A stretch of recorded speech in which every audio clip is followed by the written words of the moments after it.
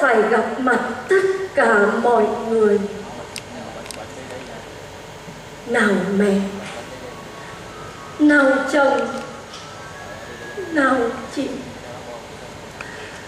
Toàn là máu mù ruột thịt của ta. Nhưng bây giờ, tất cả bọn họ đã về một phía. Bỏ lại ta một mình.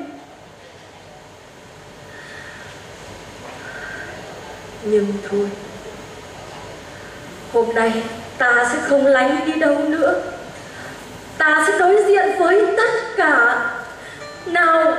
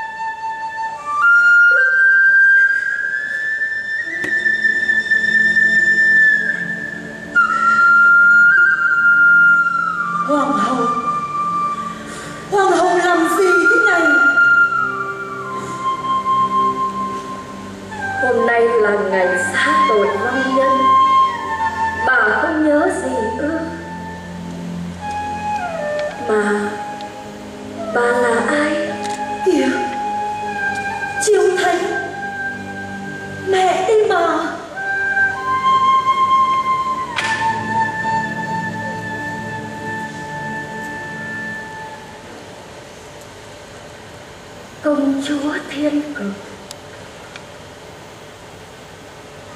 Là bà đây có phải không? Trước, là vợ của lý huệ tông. Giờ, là phu nhân của thái sư họ trần. Vậy thì bà đâu có phải là mẹ ta? Cũng như ta, làm sao có thể có một người cha hơn là trần thủ độ Triều Thanh Con không được nói nhảm. Công chúa thuận thiên đâu? Thuận Thiên và Hoàng thượng đang tới. Phải rồi. Hôm nay là buổi đại đoàn viên ở đây mà. Chỉ tiếc là thiếu có một người. Thiếu một người thôi. Chuyện đã qua lâu rồi. Con nhắc lại làm chi. Phải. Chuyện qua lâu rồi. Mười một năm rồi. Vậy mà ta cứ ngỡ như mới hôm qua. Thì ấy ta, còn